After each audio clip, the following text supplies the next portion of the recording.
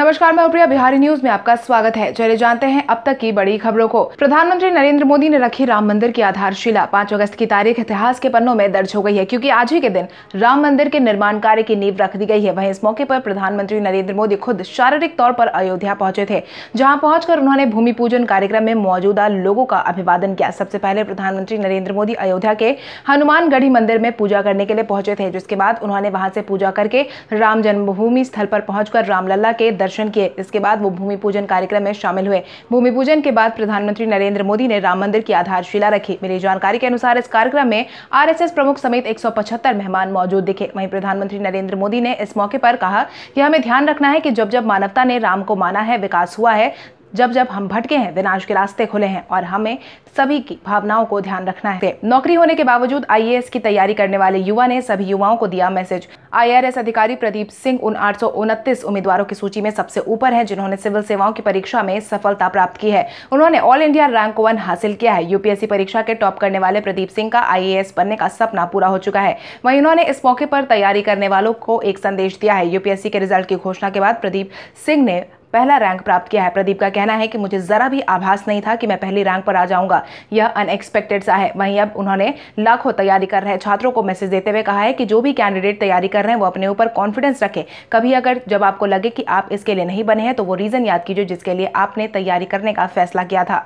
IGIMS के तीन और एनएमसीएच के दो डॉक्टर समेत बीस स्वास्थ्यकर्मी आए कोविड नाइन्टीन की चपेट में। आम नागरिकों के साथ अब सुरक्षाकर्मी और चिकित्सक भी कोविड नाइन्टीन की चपेट में बड़ी तेज़ी से आ रहे हैं। मिली जानकारी के अनुसार बिहार में कोविड नाइन्टीन के बेलगाम बढ़ रहे मामलों के बीच पटना के विभिन्न इलाकों में कुल मिलाकर तीन सौ चौवन नए मामलों की पुष्टि की गई है, जिसके बाद पटना में संक्रमितों की संख्या दस हज़ार के पार पहुँच गई है। वहीं अब तक छह हज़ार चार सौ सतासी मरीज़ कोविड 19 की परीक्षा को पास कर चुके हैं। पटना में मंगलवार को छह दिन का शिशु भी कोविड 19 पॉजिटिव पाया गया वहीं आईजीआईएमएस के तीन डॉक्टर, पाँच स्टाफ के छह परिजन और चार भर्ती मरीज़ मिले हैं। वहीं पीएमसीएच में मंगलवार को चौबीस सैंपल की रिपोर्ट पॉजिटिव आई है, जिसमें छह स्वास्थ्य कर्मियों का नाम शामिल है। वहीं एनएमसीएच के माइक्रोबायोलॉजी विभाग के दो डॉक्टर और एक कर्मी की रिपोर्ट पॉजिटिव आई है।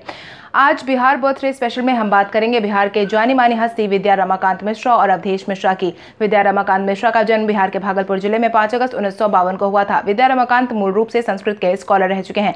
विद्या रमाकांत मिश्रा ने आयुर्वेद की पढ़ाई अपने पिता कामेश्वर मिश्रा से की थी, जिसके बाद उन्होंने बिहार यूनिवर्सिटी में अपनी पढ़ाई पूरी की थी। फिर उन्होंने कामेश्वर सिंह दरभंगा संस्कृत यूनिवर्सिटी से संस्कृत में डिग्री ली थी। विद्याकांत मिश्रा ने मुख्य रूप से आयुर्वेद और परंपरागत ज्ञान को आधुनिक ज्ञान के साथ मिलाया था, जिसका उन्होंने बाद में जाकर सूत्र टू साइंस का नाम दिया था। वहीं अवधेश मिश्रा की बात करें तो अवधेश मिश्रा का जन्म 5 अगस्त उन्नीस सौ उनहत्तर को बिहार में हुआ था। अवधेश मिश्रा मुख्य रूप से अपने एक्टिंग के लिए भोजपुरी फ़िल्मों में जाने जाते थे। उन्होंने कई सारे भोजपुरी फ़िल्म में विलन का किरदार निभाया है। तेज आंधी के कारण गंडक नदी में यात्रियों से भरी नाव पलटी। मंगलवार शाम को आई तेज आंधी में गंडक नदी में यात्रियों से भरी नाव पलट गई है, जिसमें उन्नीस लोगों की जान चली गई है। इस नाव में कुल मिलाकर पैंतीस लोग मौजूद थे, जिनमें से उन्नीस लोगों की जान गंवाने की पुष्टि की गई है, जबकि कई लोग फ़िलहाल लापता है। दो लोग तैरकर बाहर निकल गए हैं। नाव पर ज़्यादातर महिलाएँ और छोटे उम्र के बच्चे सवार थे। यह मामला खगड़िया ज़िले के मुफजिल थाना क्षेत्र के पाँच किलोमीटर ढाला के पास का है। सभी लोग पाँच किलोमीटर के सोसाइटी टोला सोनावर्ष दियारा जा रहे थे। इसी दौरान आंधी आ गई और नाव पलट गई एसडीआरएफ की टीम मोटर बोट से नदी में गायब हुए लोगों की तलाश कर रही है। जान गंवाने वाले परिजनों को चार चार लाख का मुआवजा सरकार ने देने का ऐलान कर दिया है। कोविड 19 के माहौल के बीच बिहार की नौ नदियाँ लाल निशान के पार। बाढ़ ने बिहार वासियों की परेशानी बढ़ा रखी है। वहीं अभी भी फ़िलहाल प्रदेश के 16 ज़िले बाढ़ से बुरी तरीके से प्रभावित है। मुजफ्फरपुर के सकरा प्रखंड का भटिंडी गाँव में चारों तरफ़ से बाढ़ के पानी से घिर गया है। सूबे की नदियों की रफ्तार पर ब्रेक लगने के बावजूद अभी भी नौ नदियों का जल स्तर लाल निशान के ऊपर बह रहा है। हालाँकि गंगा का जलस्तर पूरे प्रदेश में बढ़ रहा है। ऐसे में स्थानों पर अन्य नदियों का जलस्तर भी लगातार बढ़ रहा है, लेकिन उसकी रफ्तार फ़िलहाल धीमी मानी जा रही है। वहीं प्रभावित पंचायतों की बात करें तो कुल मिलाकर बाढ़ की वजह से एक पंचायत प्रभावित है, जिसमें उनसठ दशमलव सात शून्य लोग बाढ़ की चपेट में हैं। वहीं प्रभावितों के बीच तेज़ी से राहत और कार्य बचाव चल रहा है। बिहार विधानसभा चुनाव से पहले भाजपा सभी को पिला रही है नमो काढ़ा। बिहार विधानसभा चुनाव से पहले बिहार में राजनीतिक पारा लगातार चढ़ता दिखाई दे रहा है। इसी चुनावी साल में जनता को अपनी ओर आकर्षित करने के लिए सभी पार्टियाँ अलग अलग तरह के प्रयास कर रही है। कोविड नाइन्टीन के इस माहौल में दुनिया भर के शोधकर्ता इसका इलाज ढूँढने में मेहनत कर रहे हैं। वहीं अब तक एक बात साफ़ है कि जिन लोगों लोगों की इम्यूनिटी क्षमता मज़बूत है, उन पर कोविड नाइन्टीन का असर उतना ज़्यादा नहीं देखा जा रहा है। शरीर में इम्यूनिटी बढ़ाने के उपाय सोशल मीडिया पर भी बताए जा रहे हैं। वहीं भोजपुर में भाजपा कार्यकर्ता ने आयुष मंत्रालय द्वारा सुझाए गए विधि से बनाए काढ़े का स्टॉल लगाया है, जहाँ लोगों को निःशुल्क काढ़ा पिलाया जा रहा है। भोजपुर के शाहपुर विधानसभा की पूर्व विधायिका मुन्नी देवी की टीम ने शाहपुर इलाके में कई जगहों पर ठेला स्टॉल लगाया है और इसे नाम दिया है नमो काढ़ा। सरकारी अस्पताल में मुफ़्त होगी कोविड 19 एंटीबॉडी की जाँच। राजधानी पटना में अलग अलग इलाकों में कोविड 19 के 350 से ज़्यादा मामले बीते दिन सामने आए हैं। ज़िले में कोविड 19 संक्रमितों की संख्या दस पर पहुँच गई है। वहीं लगातार बढ़ रहे मामलों को देखते हुए सरकारी अस्पताल में कोविड नाइन्टीन की जाँच के साथ साथ एंटीबॉडी की जाँच भी मुफ़्त में की जाएगी। इसके लिए न्यू गार्डनियर रोड अस्पताल में व्यवस्था हो रही है। यहाँ पर एक से दो दिन में एंटीबॉडी जाँच की सुविधा मिलने लगेगी, वो भी मुफ़्त में। कोविड 19 का संक्रमण ठीक भी हो गया है और पता ही नहीं चल रहा है कि शरीर में कोरोना से मुकाबला करने की इम्यूनिटी डेवलप हुई या नहीं। इसके लिए आईजीजी एलाइजा की जाँच कराई जाएगी। इस जाँच में पता चलेगा कि एसिम्टोमेटिक मरीज़ में कोविड 19 का एक्सपोजर हुआ है और इम्यूनिटी डेवलप हो गई है और मरीज़ को पता भी नहीं चला है। अस्पताल के सूत्रों की माने तो गुरुवार से यह जाँच शुरू हो जाने की उम्मीद जताई गई है। इससे पता चलेगा कि शरीर में कोविड नाइन्टीन का मुकाबला तैयार करने के लिए एंटीबॉडी तैयार हो गई है या नहीं। बेहतर इलाज के लिए छह निजी मेडिकल कॉलेज अस्पताल में सौ बीस बेड हुए आरक्षित। राज्य में कोविड नाइन्टीन संक्रमितों की संख्या लगातार बढ़ती जा रही है। वहीं लोगों का इलाज करने की तैयारी भी सरकार ज़ोर शोर से कर रही है। मरीजों के लिए अधिक बेड उपलब्ध को इस दिशा में लगातार प्रयास किया जा रहा है। मिली जानकारी के अनुसार स्वास्थ्य विभाग ने राज्य के छह निजी अस्पताल में कोविड 19 मरीज़ का इलाज करने का आदेश दे दिया है। अब निजी मेडिकल कॉलेज में भी कोविड 19 मरीजों का इलाज होगा, जिसके लिए 720 अतिरिक्त बेड की व्यवस्था कर दी गई है। इसके साथ ही सरकार ने निजी हॉस्पिटल में भी भुगतान के आधार पर कोविड 19 मरीजों के इलाज की अनुमति दे दी है और हॉस्पिटल में तीन हज़ार दो सौ सैंतीस की व्यवस्था की जा चुकी है। बिहार में बाढ़ के कारण चौदह जिलों में 60 लाख लोग आए बाढ़ की चपेट में। बिहार में बाढ़ की स्थिति लगातार बिगड़ती जा रही है। अब तक लगभग 60 लाख लोग बाढ़ की चपेट में आ चुके हैं।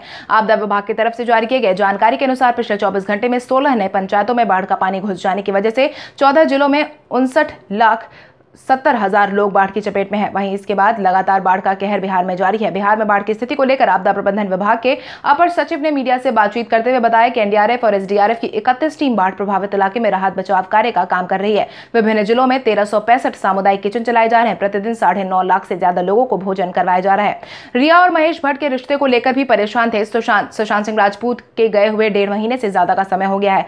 वही अब उनके इस कदम के पीछे की असली वजह सामने नहीं आई है। सुशांत सिंह अपनी सेक्रेटरी दिशा के जाने के बाद भी काफ़ी परेशान चल रहे थे। इसके साथ ही सुशांत रिया चक्रवर्ती और महेश भट्ट की करीबी को लेकर भी परेशान रहते थे। सुशांत सिंह राजपूत के करीबी मित्र ने मीडिया से बातचीत में बताया है कि सुशांत जब भी अंकिता लोखंडे की बात करते थे तो वो काफ़ी ज़्यादा खुश दिखते थे, जिससे मैं समझता था। लेकिन रिया चक्रवर्ती के आने के बाद सुशांत से ज़्यादा बात नहीं हो पाती थी। सुशांत कहते हैं कि रिया हमेशा महेश भट्ट के संपर्क में रहती थी। इसके साथ ही सुशांत के दोस्त ने खुलासा किया है कि सुशांत अपनी सेक्रेटरी दिशा के जाने के बाद से काफ़ी परेशान थे। उन्हें पता था कि दिशा की जान कैसे गई है और वो फ्लैट में काम करने वाले संदीप को काफ़ी संदिग्ध मान रहे थे। उनका कहना था कि संदीप सब कुछ जानता है। बाढ़ प्रभावित इलाकों का हवाई सर्वेक्षण करके मुख्यमंत्री नीतीश कुमार निकले बाहर।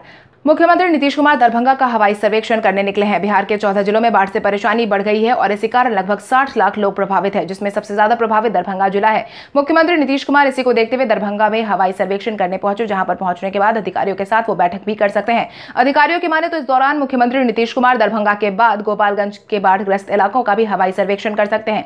मुख्यमंत्री का कार्यक्रम पिछले दो दिन से बन रहा था, लेकिन किसी न किसी कारण से वो टलता जा रहा था। राम जन्मभूमि में मंदिर की नींव रखी गई। वहीं दूसरी तरफ़ सीतामढ़ी में मनाई जाएगी दिवाली। उत्तर प्रदेश के अयोध्या में आज रामलीला के भव्य मंदिर की नींव रखी गई है, जिसको लेकर कई सारी तैयारियाँ की गई थी। देश भर में उत्साह का माहौल साफ़ तौर पर देखने को मिल रहा है। वहीं बिहार के सीतामढ़ी में भी लोगों की उत्सुकता और उत्साह को साफ़ तौर पर देखा जा सकता है। माता सीता की जन्मभूमि के नाम से प्रसिद्ध सीतामढ़ी में भी भव्य आयोजन की तैयारी की गई है। मिली जानकारी के अनुसार आज यहाँ पर दिवाली मनाई जाएगी। मीडिया हाउस की एक रिपोर्ट की माने तो यहाँ पर सैकड़ों वर्षों से लोगों का इंतज़ार जो है, अब वो पूरा होने जा रहा है। इस मौके पर ज़िले में दीपोत्सव मनाया जाएगा। वीवो ने किया आईपीएल 2020 की टाइटल स्पॉन्सरशिप छोड़ने का फैसला। इंडियन प्रीमियर लीग के प्रमुख फ्रेंचाइजी ने इस बात की जानकारी दी है कि वीवो इंडिया ने कम से कम इस साल के लिए टूर्नामेंट के टाइटल स्पॉन्सरशिप से पीछे हटने का फैसला लिया है। बीसीसीआई और आईपीएल गवर्निंग काउंसिल को चीनी कंपनी के साथ करार नहीं तोड़ने का फैसला लेने के लिए देश भर में आलोचना का सामना करना पड़ रहा था। हालाँकि चीनी कंपनी वीवो भी दुनिया की सबसे महँगी घरेलू क्रिकेट लीग की टाइटल स्पॉन्सर है। हालाँकि भारत चीन के बीच उत्पन्न हुए तनाव के बाद भारतीय क्रिकेट कंट्रोल बोर्ड पर वीवो से करार तोड़ने का दबाव पड़ा था, लेकिन उसने ऐसा नहीं किया। इसके साथ ही वीवो को आईपीएल का टाइटल स्पॉन्सर बनाए रखने के लिए बीसीसीआई के फैसले का विरोध भी शुरू हो गया था, जिसके बाद अब खुद वीवो ने इस साल आईपीएल के टाइटल स्पॉन्सर से पीछे हटने का फैसला लिया है। अगर ऐसा होता है तो बीसीसीआई के लिए सही रिप्लेसमेंट ढूंढना बहुत मुश्किल होगा। भूमि पूजन पर राहुल गांधी ने किया श्री राम को याद। भूमि पूजन के शुभ अवसर पर कांग्रेस नेता राहुल गांधी ने भगवान राम को याद किया है और श्री राम के मूल्यों को संदेश देते हुए इशारों इशारों में भाजपा पर निशाना भी साधा है। राहुल गांधी ने भूमि पूजन के बाद ट्वीट किया और भगवान राम को मानवीय गुणों का सर्वोत्तम स्वरूप बताया है। उन्होंने लिखा, मर्यादा पुरुषोत्तम, भगवान राम सर्वोत्तम मानवीय गुणों का स्वरूप है। वो हमारे मन की गहराइयों में बसी मानवता की मूल भावना है। इसके साथ ही राहुल गांधी ने भगवान राम के गुणों का ज़िक्र किया और इशारों इशारों में सत्तारूढ़ भाजपा पर निशाना साधा है। उन्होंने लिखा कि राम प्रेम है, वो कभी घृणा में प्रकट नहीं हो सकते। राम करुणा है, वो कभी क्रूरता में प्रकट नहीं हो सकते। राम न्याय है, वो कभी अन्याय में प्रकट नहीं हो सकता। चलिए बढ़ते हैं आज के सवाल की और आज का सवाल कुछ इस प्रकार है। आपके अनुसार आईपीएल से वीवो का बतौर स्पॉन्सर पीछे हटने का फैसला कितना सही है, कितना नहीं? अपने जवाब हमें कमेंट करके ज़रूर बताएँ। इसके साथ ही आज के लिए बस इतना ही। बिहार की बड़ी खबरों से अपडेटेड रहने के लिए हमारे यूट्यूब चैनल को सब्सक्राइब करें और बेलाइकॉन दबाना ना भूलें। धन्यवाद।